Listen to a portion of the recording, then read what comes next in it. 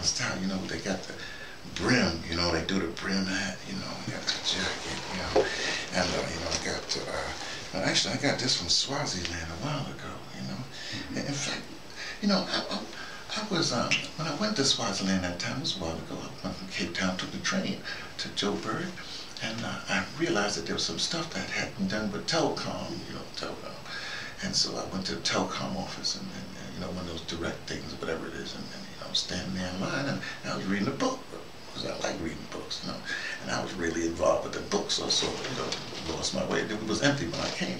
Anyway, so the sister comes up to me and, she says, oh, well, you know, may I help you? You know, she's right up. I said, oh, oh, she said, she said, you're next in line. And now, this is unusual. I mean, not unusual to maybe the general universe, but it was unusual because in Cape Town, she would have just yelled next or something like that. But she actually walked from behind the counter and came up to me. And so I was wondering, so I finished the business. I said, well, let me ask you, sister, how, you know, how come you, did that?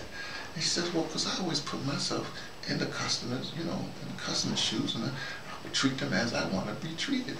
And I said, whoa, this is interesting because this is not the general thing. I mean, let me put this way. The way, the reason I went to Cape Town was because I have a little thing with Home Affairs, you know, and um, I had to get some paperwork from Home Affairs and and and then I also, since I'm, my permanent residency has been, I, can't tell you how many years. Let's say it's like five years, but that might be exaggerated. Maybe only four, but it was a, it's a while.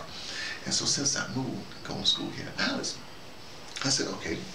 Um, is it possible, you know, because you'd have to go all the way to Cape Town to pick up the paperwork. Is it possible to get it switched over to, like, well, East London has the Home Affairs, you know, section. And so the lady over the phone in the call center, because you never can talk to Home Affairs, they said, well, you got to go to Cape Town and request it from them.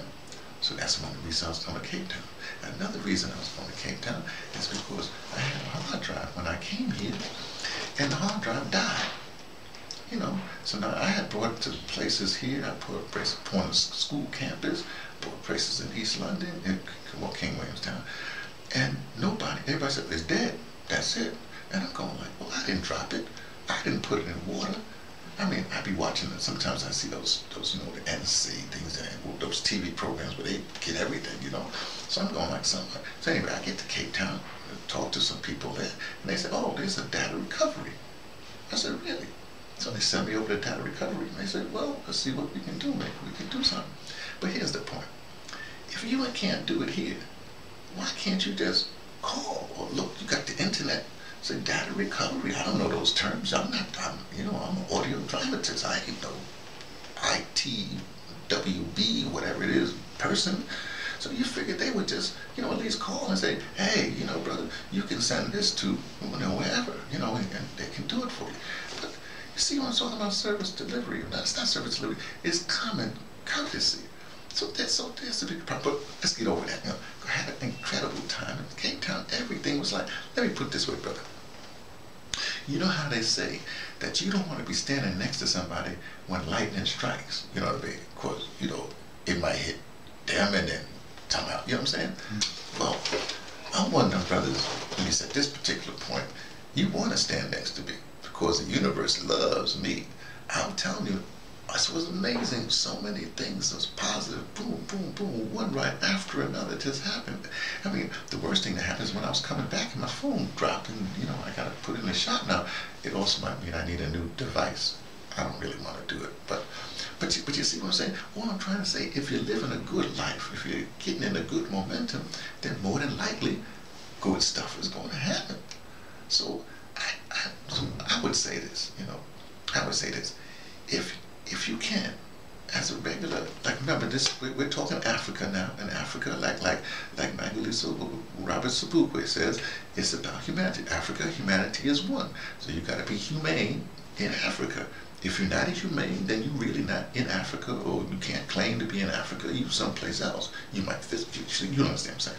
So if we all start being more humane and thinking and like as we say uh, um, you know as one of my friends in Cape Town you know he was saying like hey that's because people don't care they don't give a fig's leaf, you know. And if, the, if, we, if we have enough people like that sister in Joburg, you know, to if we always like her, you know, a little bit more like her, then you know maybe we could have a better, better, better situation. You know, so I, I mean, uh, I think that would be, you know. But then again, you know, this this is this is just me. Know, that, that would be, uh, you know, the, this is one of those dispatches from the arts director emeritus. So, you know, that would be me, arts director emeritus. T from the Pattersons, taking the train to Tibet, letting you know what I only suspect. Mm.